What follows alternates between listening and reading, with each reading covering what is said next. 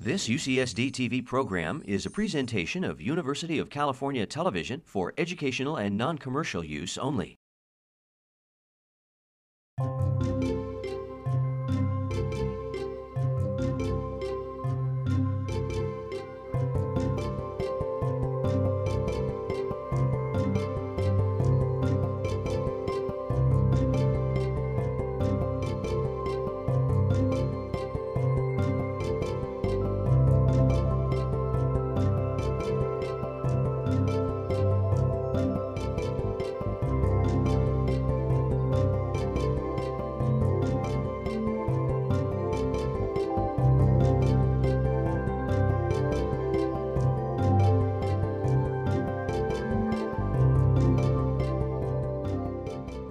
I'm happy to uh, introduce uh, Dr. Stephen Miller. Uh, Dr. Miller is a, the clinical professor uh, in the Division of Plastic Surgery. Uh, he is a plastic surgeon by training, uh, now retired. He is also the um, past president of the American Board of Medical Specialties, and I will mention that his campaign not that he was singularly responsible for this, but his campaign while he was president at ABMS was to really push forth the maintenance of certification movement. And so I think that was really a, a wonderful step forward for American medicine. And uh, this has been a flag that uh, Steve has been carrying uh, for quite some time. We are lucky that uh, he decided to, uh, to retire uh, to Southern California uh, particularly just north of uh, San Diego, and he is uh, now involved with the PACE program, uh, counseling, giving insight, and involved in the evaluative process. Uh, Steve uh, has done a good job in um, combing the literature and is uh, going to be presenting the effects of aging on clinical performance, uh, what we know and what there is yet to know. Steve.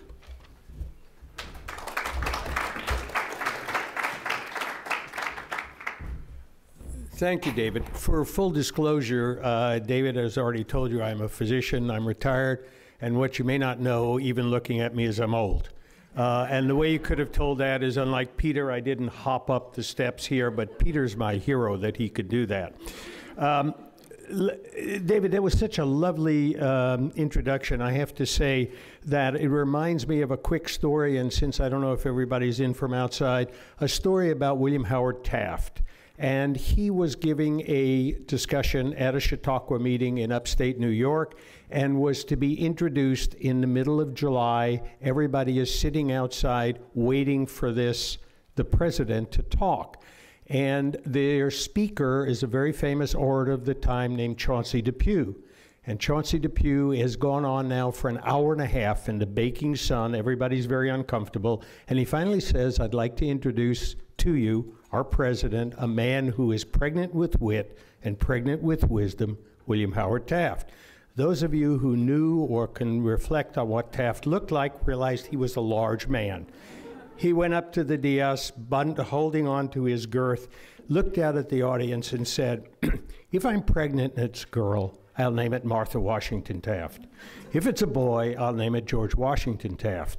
If, on the other hand, it's merely gas, Clearly, I'll name it Chauncey Depew.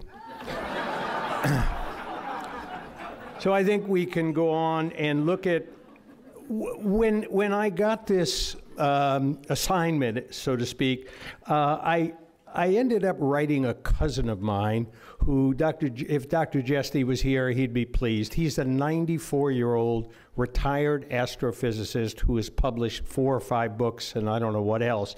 He has just completed a book on successful aging, and it was mind boggling to me. So I took this, what he said, and I said, what does that mean for the clinician? And I've discussed this with Bill. I've been involved with ABMS and physician evaluation. I am currently involved, uh, learning a lot at the PACE program. Do we know enough to know about clinical performance? and I know we're talking about the aged, but as everybody has been up here talking about it, I thought of all the other risk factors involved, and I hope to go through some of those with you one profession which has looked at age and deals with age as it reflects their performance has been the pilots. So let's look at what pilots do or what pilots must do. All pilots have to maintain currency. They are examined on an annual basis. All pilots who wish to fly a plane go through a simulation in that plane that is a simulator, and I've actually done that on occasion. And all pilots need a medical examination. If they're under 40, it's only once a year. If they're over 40, it is every six months. Now, there was a study, and I originally make no claim to being um, the one who found this because I think it was my uh, friend and mentor, uh, Bill Norcross, who found it. It was a National Transportation Safety Board study done between the years 2000 and 2004.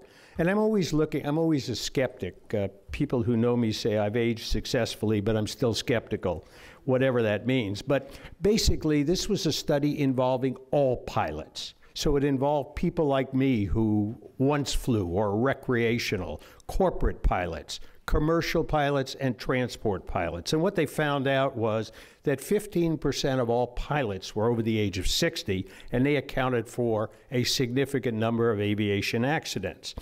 As you know, back in the mid 2000s, they changed the mandatory retirement age for pilots. They changed that. And a subsequent study done between the years 2007 and 2009, the early indications were that changing the mandatory retirement age to 65 did not did not affect patient safety. I thought that was very interesting. What I thought was even more interesting, though, is what pilots have to go through. And I think this is my impression of what physicians go through, at least in the United States. All physicians must maintain a generic license to practice, and they are called physicians and surgeons. There are no national standards for licensure. There is no assessment of competence, currency, or quality performance required in the area or scope of a physician's practice. In my view, physician competence and performance data is scant, is incomplete, it is of little use to the profession in general, and even less to the public. Now, I've just set up the dichotomy of my thinking should there be age based retirement for physicians? Obviously, my initial thought was, of course there should. We know aging reduces the quality the quantity of contributions, or do we? There should be a set ma- mandatory retirement age and almost end practice at a certain period of time. And in the case of surgeons, they must all stop operating at a specific case. These issues have been addressed. There are people who firmly believe that. On the other hand, that's why one should not be a two handed economist because we always have two hands. But on the other hand, age may be a risk factor but it is not by any means the only risk factor. Now, when we start to look at other areas, other people, other specialties, uh, Paul Dirac, who was a very young Nobel laureate, did his research at age 26, has written this about age is, of course, a fever chill that every physicist must fear. He's better dead than living still, and once, once he's past his 30th year. So, We've all looked and heard about the incredible contributions, certainly in the social sciences, in artistic work, by people like Mozart, Shelley, and people say, well, look at all these people and what they've done. They've made enormous contributions, but they didn't live to be older. So, what might they have contributed had they lived to be older? So, I've taken a, a group, and you've seen some by the other uh, speakers and looked at some older people who have contributed. So if we go down to the left lower corner and you look at Pablo Picasso, you look at Grandma Moses, there's Warren Buffett, the famous Michael DeBakey. By the way, uh, Dr. Perry, these two ladies are not 100 running a marathon, but they're in their 90s and they're competing in a senior, in a, in a senior um, Olympics like. There's Bill Cosby, the senior uh, George Bush, who still jumps out of airplanes to celebrate his birthday. Brett Favre, I guess I'll have to be a little, you know, maybe he did go a little beyond. For those of you who can recognize, there's a very famous neurosurgeon at the center portion and an equally famous plastic surgeon who, when he retired, was given this photograph of what somebody thought I would be doing when I was retired. None of that's true, by the way. So there is the wisdom of the ages and the wisdom of the age. We know that Aristotle, this series of philosophers here, Aristotle said that aging is a changing balance between the imagination of youth and the knowledge that the age has. Gene Cohen, who is a very well known gerontologist, feels that there is something called developmental intelligence, where there's a maturing of cognition, of judgment, of emotions and social intelligence, life and spirit, experience, and consciousness. My all time favorite philosopher, though, is Satchel Paige, who said, How old would you be if you didn't know how old you was? Now, we've all seen or heard that growing old is better than the alternative, but we reflect on that as to meaning death. That's not true I think that growing old is better than the alternative, providing, and this is the major caveat, that one is still growing. And we have seen that. Dr. Jesty and many other people have discussed the plasticity and growth of the human brain, even with aging. Another problem I have is as we go through what we're doing and make decisions, averages tend to gloss over levels of performance, both good performance and bad.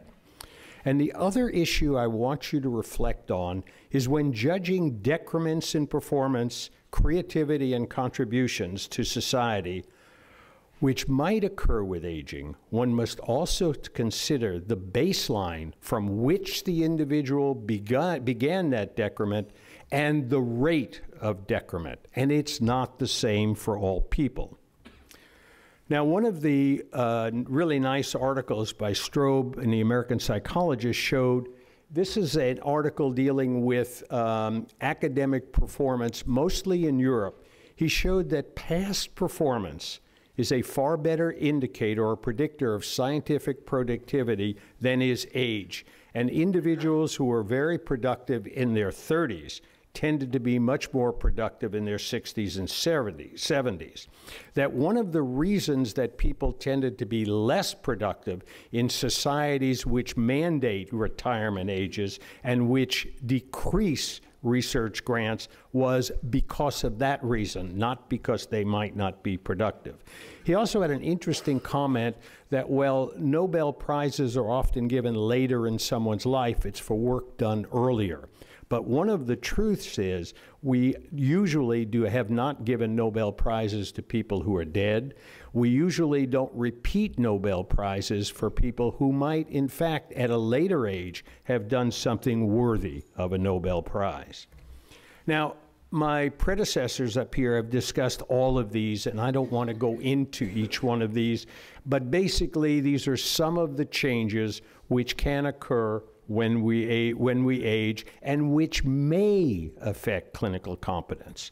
But I want to bring up these other issues because I don't think that competence and competent performance is solely a factor that we deal with in age. We do know, for instance, that students who do poorly in medical school tend to perform poorly through much of their practice years. We know that people who are in solo practice that is a risk factor. People who lack hospital privileges, that's a risk factor. In spite of the examination concept uh, of ABMS board certification, actual certification or lack thereof is associated as a risk factor. Another risk factor is out of scope of practice. The person trained as a psychiatrist who now decides to do cosmetic medicine or the person who is trained as an obstetrician doing something totally unrelated to obstetrics with really no training. That is a, a risk factor. Clinical volume is a risk factor. Too much and too little. New knowledge is necessary, the development of procedural skills. One of the problems is we don't have a good way, nor have we ever, of discerning when someone is competent at new procedural skills. And what we have done, and there's no better example than the use of laparoscopic surgery, the learning curve was extraordinarily steep, and it was steep for the young and the old. There's also fatigue, stress, and burnout. And finally, a very favorite one of mine, which we don't seem to pay much attention to, there are health issues, both mental and physical. One of the things which I'm interested, Laura, in the question you asked Dr. Jesty is I'm not so concerned about the younger generation because I think there's an element of living life a lot differently than some of us who are very old lived life. And I'm not so sure as I reflect back on practice that I did everything I might have done as well as I could have done, certainly as a father and a husband in a lot of other areas. Well, uh, you've seen some of the work by Kevin Eva. This is, uh, and I don't want to go into this in great detail, other than to say that Eva's work, a lot of which is based on stuff that Geoff Norman did, a lot of it is based on uh, material that Ericsson did, is can the older physician be taught to abandon first impressions and use more analytic reasoning? Can you, with an older physician, develop a concept similar to what we do in the operating room, time out. Before you jump to conclusions, time out and think about the problem. The other thing I'm convinced about is that older physicians, younger physicians, all physicians need to have objective fear or objective peer feedback in what they're doing. And one of the best things for those of you who have not had an opportunity to read it is an excellent article in, I think it's this month's Is It New Yorker by Atul Gawande, where he subjected himself to having an older surgeon, Bob Osteen, come in the operating room and watch what he did.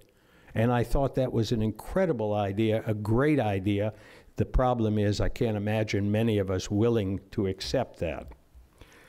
Now, this study, when I was at the ABMS, was this was the study of studies, got everybody very upset. So Choudhry and his, and his compatriots looked at knowledge, they looked at the adherence to standards of care, adherence to standards of diagnosis, treatment, and healthcare outcomes. They discovered or, or presented that 52% of this meta analysis they did had negative outcomes, negative associations. 21% had negative associations for some outcomes, 13% no association, and 2% positive association. 62 studies. Well, what did they really find out when you read through the studies very carefully, many, many times, as we did at the boards and subsequently? Well, knowledge data, test for knowledge, was consistent and was negative. So, one of the questions did that mean that the older physician didn't have current knowledge? Or is it possible that there was a question about the validity of the test used and the questions used? Did they really reflect the person's practice? Outcome data was far less consistent. The other thing to recognize is Choudhry's study was based on some 30 year span of articles, a lot of very small studies. And the question was some people who subsequently evaluated that looked over the last five to 10 years of the study and did not find such negative outcomes. They were suggesting better outcomes. So I don't know what, what to make of Choudhry's study beside the fact that it's there and it does have certain suggestions, but it in itself, in my view, doesn't totally answer the question. Now, a similar study was done by RAND, and maybe this is what somebody was referring to, and for the person who asked the question about females. The RAND study looked at 124 process measurements or guidelines across a broad range of clinical areas based on the RAND quality assurance tool. And it was determined that this was a valid study by four panels selected by uh, RAND, and it was based on claims data. The overall performance was highest in women when they were board certified and when they graduated from a domestic medical school, but the overall effect was very small between the very best and worst. There was no association in this study with age, but it did look but it did not look at test scores or hypothetical scenarios. Now, another group of studies is the difference between relative and absolute figures and what's clinically important and what's statistically important. One of the studies which has been brought up by a very good friend is John Norcini, which showed in a study that he did when he was working at the American Board of Internal Medicine a 0.5% increase in mortality for every year since graduation. Well, evaluation of the study, in fact, and looking at weighted figures showed that uh, that that was a relative risk and not an absolute one. When one looked at the absolute one, as was done by uh, Geoff Norman, Kevin Evans, several other people, in fact, the absolute increase in mortality and his outcomes was 1% over 20 years. And in a subsequent study looking at the same type of information, there was no significant difference.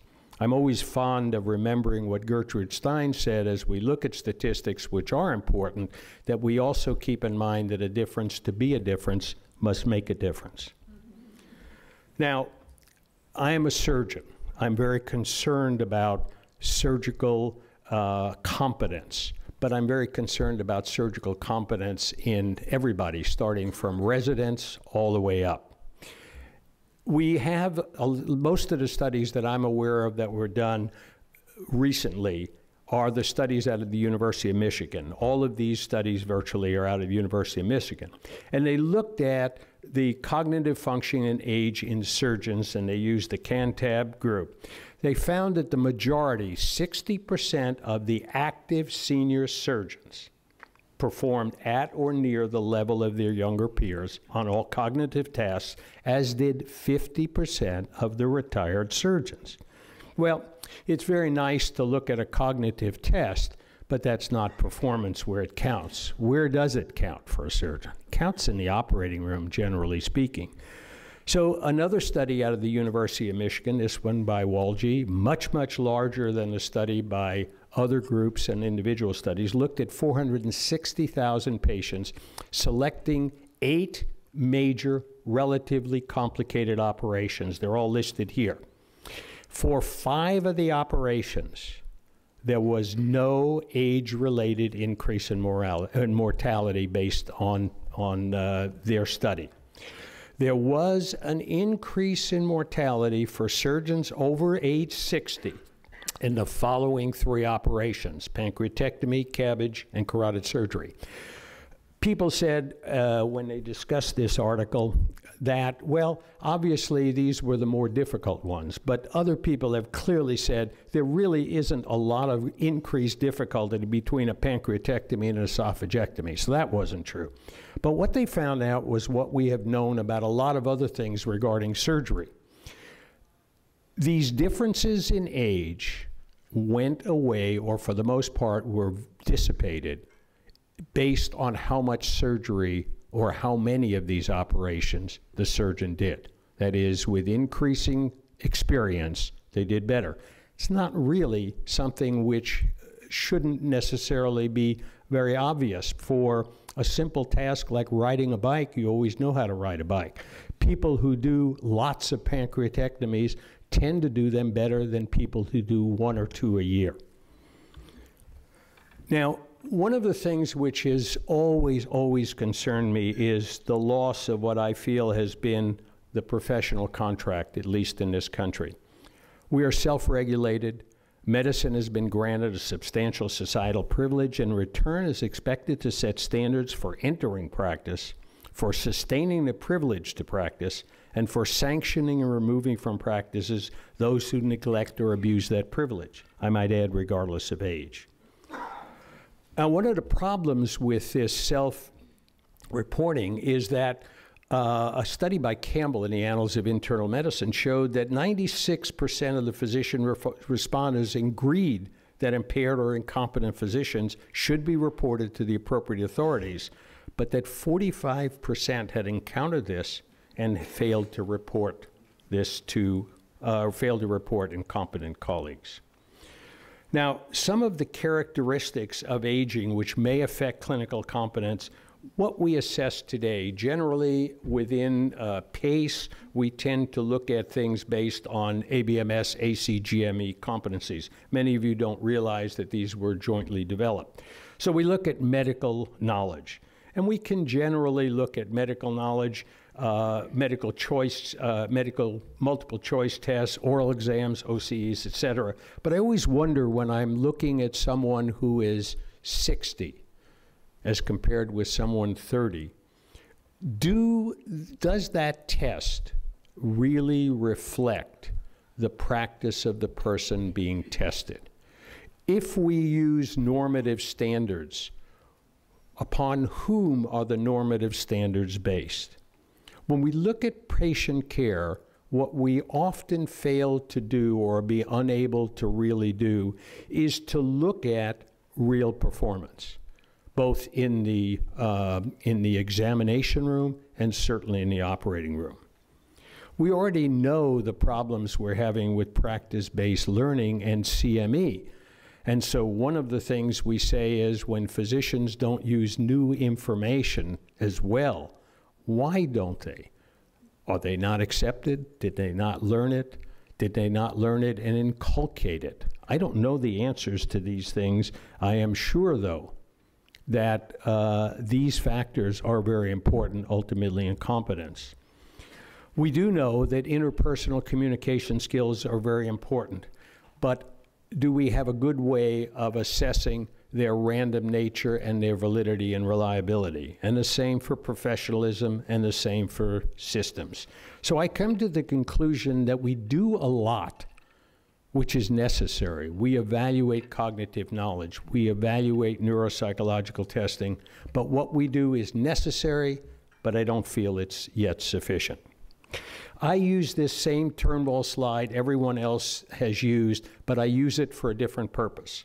I use it because when competency is questioned, it is incumbent upon the profession to evaluate that person further. And I use that as just the medical model. When you see somebody who has an abnormal physical finding or an abnormal uh, test, you need to go further and dig more deeply to find out what the problem is. And what was found out here, and what we often find out, is that people have cognitive difficulties, mental problems, health pro- physical problems, which are affecting their ability to practice safely. So somebody said to me, okay, so what do we need to know? What are some of the ideas, and who's going to find out? Well, I think what we need to know is that we need to be utilizing a public private, uh, uh, a public and private um, way of, of evaluating what people are doing. We need both. We need to evaluate, in my opinion, the mental and physical health of physicians on a regular basis and we need to increase this in, frequent, in frequency after age 55 or ever, whenever illness develops. And neuropsychological testing is done as necessary. We need to develop reliable, reliable assessments of actual performance or the reliable and relevant proxies for performance which measure outcomes or processes that improve, uh, produce important and desirable outcomes and provide feedback to those who are who are performing these in order to document change and improvement. I'm very fond of asking that the local organization or institution that a, that a physician belongs to be responsible for recredentialing on a meaningful basis that physician's competence and performance on an annual basis. I think that relicensure, based on the scope of practice, on the scope of practice should be done every two years, and that recertification, which is really maintenance of certification, should be on an every three year basis. From the standpoint of technical and procedural skill, I think we need to be able to use simulators. They are there. There are, I've seen lots of different surgical programs having them. There's a very large simulation lab now which just opened at UC San Diego. We need more of these. Uh, Bill raised the issue of robotic surgery and somebody saying older people didn't do well.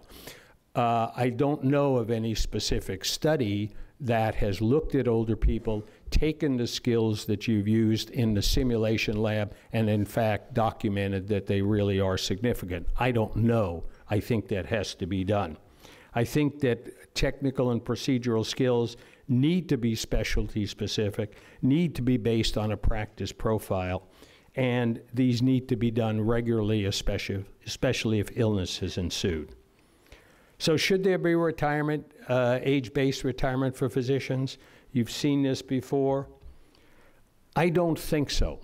I don't think so because you've seen Dr. Jesty uh, yeah, and Dr. Perry, and certainly myself, have shown that older physicians have a lot to offer.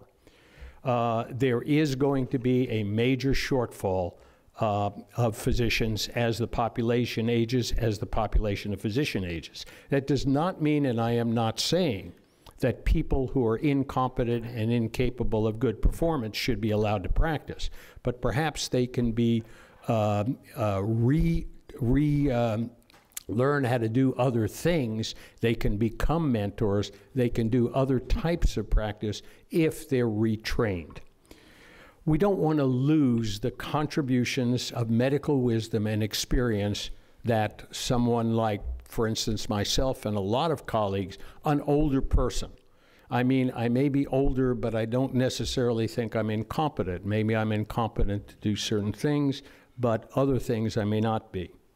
There's an incredible economic loss to discarding the wiser older person, if you think about it. Society has paid an awful lot for our education. I think we all have to beware the law of averages. Old does not necessarily mean incompetent. Age is and may be a risk factor, but it is not the only one.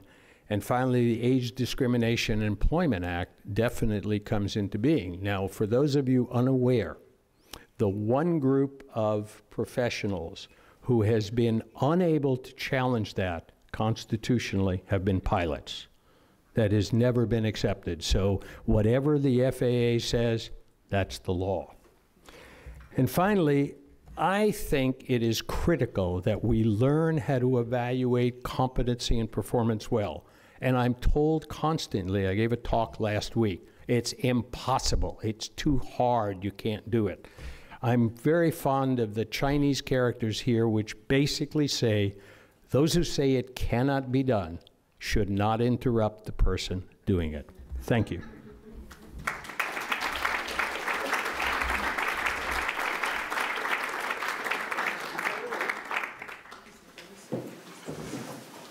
Time for some uh, questions. Yes, please come to the microphone.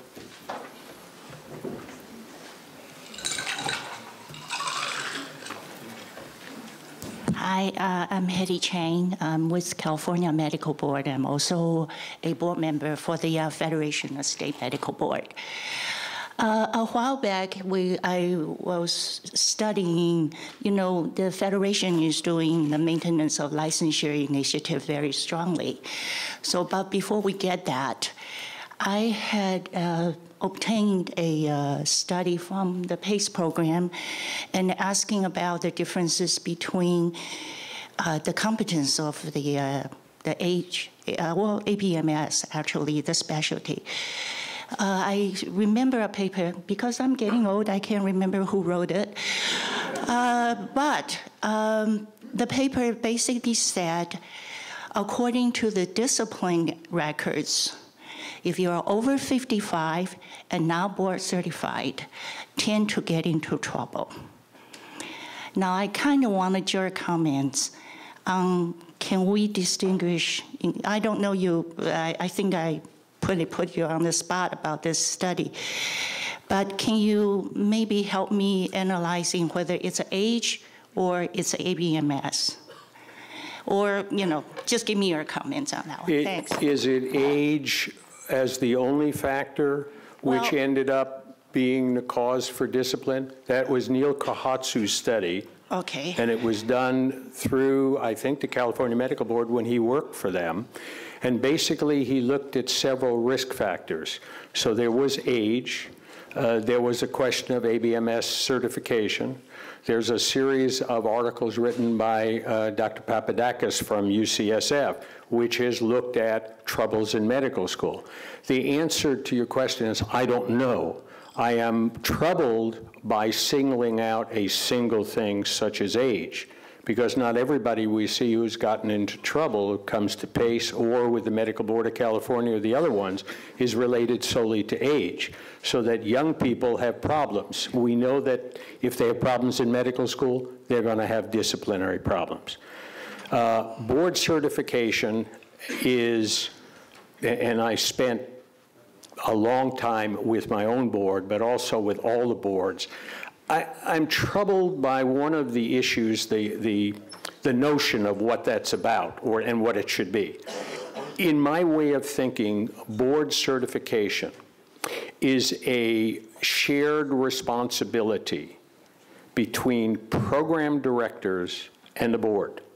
That is to say, when someone shows up for a board examination for four hours, six hours, eight hours, even if it's including an oral examination, that's a very, very small thing upon which to make a decision, especially if that person has been in training for three to five years and observed on an almost daily basis so that what the program director says or doesn't say about the thing is extremely important and needs to be a more important part of the whole certification process. Okay. I, I can't directly answer it, I just don't believe a single factor is the ultimate. Well, yeah, I, I, I'll, I'll talk with you about all the, uh, all the others because the, the MOL uh, is, although it's an initiative, one of the concept is based on if you're, if you're board certified, you will be uh, automatically meet the maintenance of licensure criteria. So are you trying to tell me maybe that doesn't, well, we'll, we'll, we'll, discuss that. No, I'm not. I'm trying to tell you that, that we're a profession. And I have sat with the FSMB and ABMS, and as you probably know, there was an initiative that went on, I think four or five years ago, where we're working together. That's what we need. That, yes, if you've passed your boards and we're all convinced that that does the right thing, you shouldn't have to go through another thing. What MOL should be, MOL was frankly requiring people to either do what the state said they did or their board said. Right now, as you know, someone who's old like me doesn't have to do anything. I'm grandfathered by two boards. In fact, I am going through maintenance of certification, but just because I feel a commitment to that. But no one is making us do that. That's wrong. That's wrong, in my opinion. Okay. Everybody should have to do it. Thank you. Have one more, one more question? Come on up to the microphone. Oh, Hi, I'm Rob Steele from the University of Wisconsin program. Um, I've got a question for you. I really appreciated your comments and emphasis on scope of practice and practice profiling.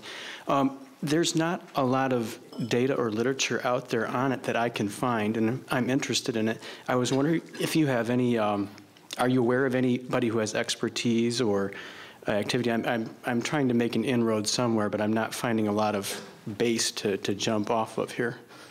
I wish I could help you, except to say uh, I can provide you with as much anecdotal information from my personal experience, but there is no good experience uh, in that regard, and that's very problematic in my view.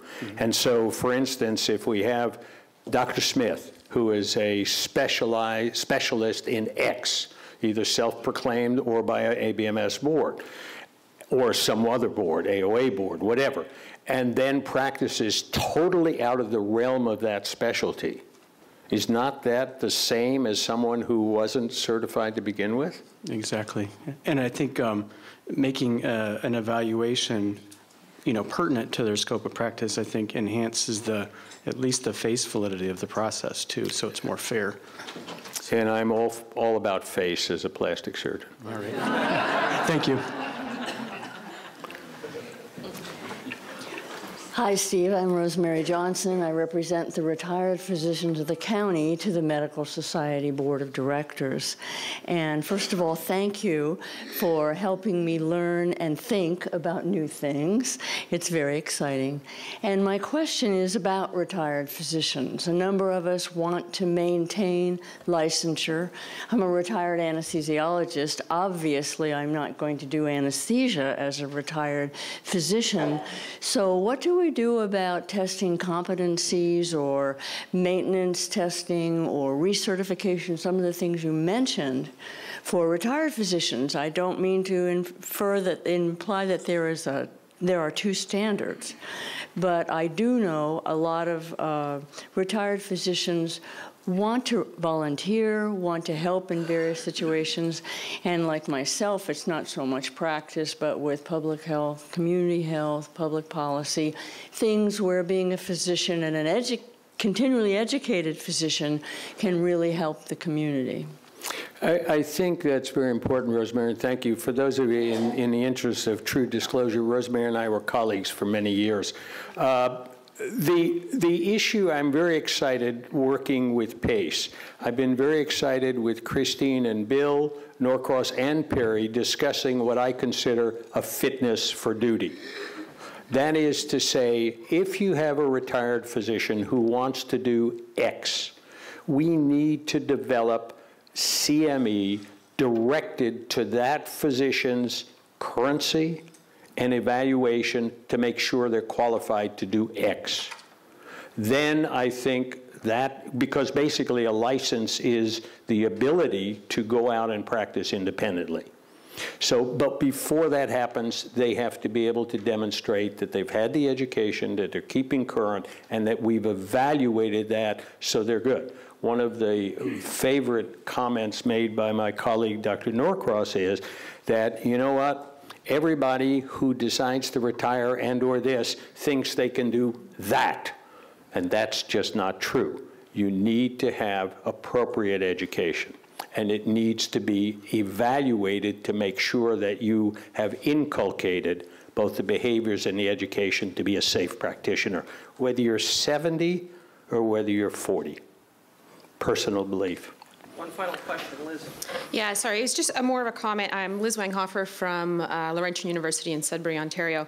And uh, thanks for, uh, for, the great talk. And, and, the one thing that I think really uh, stands out is the whole issue of these other factors that are, are potentially drivers of some of the patterns that we're seeing. What we tend to do, or what we've tended to do in the past, is really pick out the factors that we want to look at and see how they impact on performance. The problem with that is we've started to attribute causation to those things as opposed to simple associations. And when we actually start to look at things in a far more ecological approach, in that we're starting to include factors uh, associated with the work environment, health factors, uh, the things that actually make a physician practice in, in a particular context, we start to see that there are uh, that the actual causation around age or around any one of those factors isn't always the picture that we thought it would be. So for those individuals who are doing this type of research, I really uh, encourage you to take that uh, ecological framework rather than to picking out little pieces and trying to see where uh, associations lie. Yeah, I agree 100%. That's one of the problems with a lot of scientific stuff anyway, is that we have associations, but we may not have cause and effect results. Thank you.